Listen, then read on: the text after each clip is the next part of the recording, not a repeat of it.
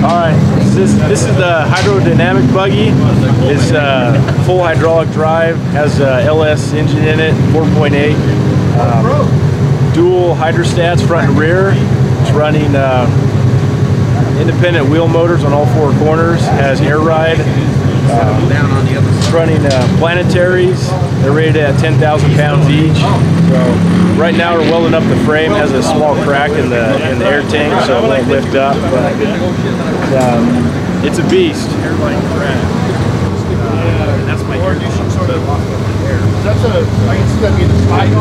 Right into a rock. I got a machine for you. You ready? Hope you got wire. I got. Yeah, sorry, man. You're good. You're good. Well, I'm not good.